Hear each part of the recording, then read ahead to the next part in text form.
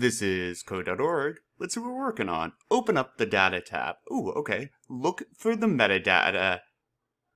Look for the metadata for a data set. So I think they mean through. And then share with your partner. So I guess hi person on the other end, you're my partner. What does this table contain? Where does the data come from? What other useful information is found in the metadata? Don't let this word metadata scare you. All right, but let's look at the data tab, which is here and then look for the meta through the metadata for a data set. Metadata is really meta. It just means a set of data that's giving and describing other data sets, other data. All right. So anyways, let's take a look what we got. And we've used this some before. Art, geography. Ooh, I love video games. So I'll click on this one and preview it. Oh yeah. Okay. Title, sales, platform. Interesting. And let's look at a few of these. Uh, Netflix okay, title, country, added date, oh, all right. And I know, let's dive into some science. And the uh, dinosaurs? Sure. Preview that. Oh wow, look at all this. Max age. Okay, so what are they asking us here? Look at, we got that. What does the data, what does the table contain? Where does it come from? And what other useful information is found? Okay, so they're just thinking about this generally. What does it contain? Well, each data set, it looks like contains different information that pertain to the name. This one's dinosaur fossils, so it has information like species, age, min age found, year, the class, the order, family, right, science, stuff. This one being Netflix. So the data contained directly relates to the name. It looks like it contains information that one could categorize based on and then information specific to that item. And let's see what else.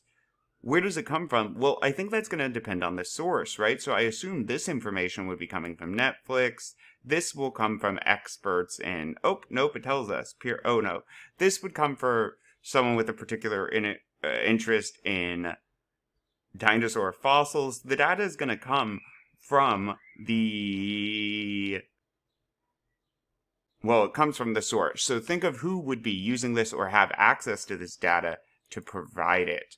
What other useful information is found in metadata? Honestly, the categories themselves are fairly useful, as, along with the specifics. The numerical ranking of them, some are in order from least to most.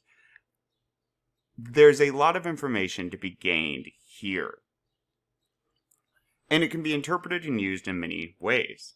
So, okay, we've looked at that. Let's see.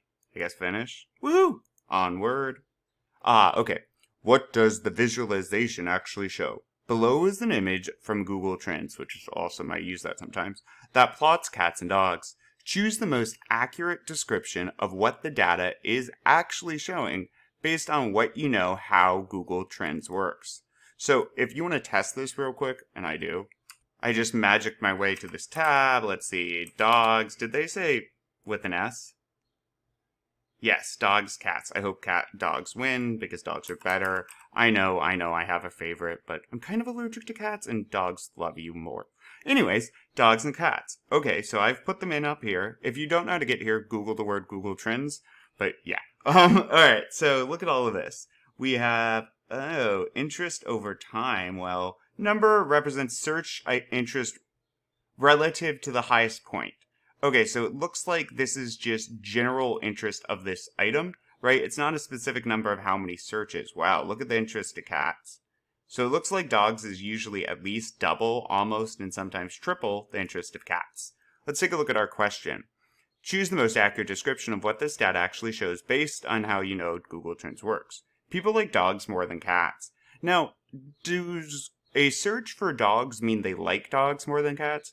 If I had a fear of dogs, I might search for dogs to learn, you know, what in what ways they might be dangerous. So I don't know if I can necessarily say, ah, you looked for dogs, therefore you love dogs, right? I mean, I've Googled for information about diseases. I don't love diseases. So people, I don't think that's going to be it. People search for dogs more frequently than cats. Hmm, okay, that does seem like a possible one there was a sharp increase in dog population sometime between 2014 and 15. Wow.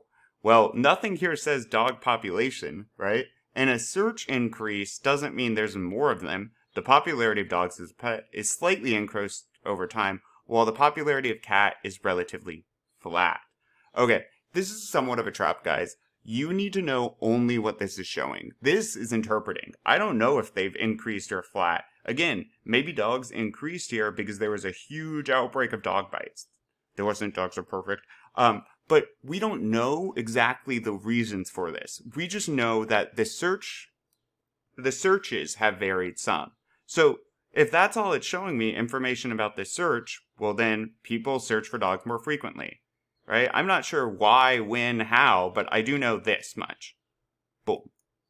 Make sure you really understand the difference between interpretation of data and viewing that data in a concrete way where the aim is to understand it not uh, not just interpret or impose your own belief on it. All right, cool. Onward.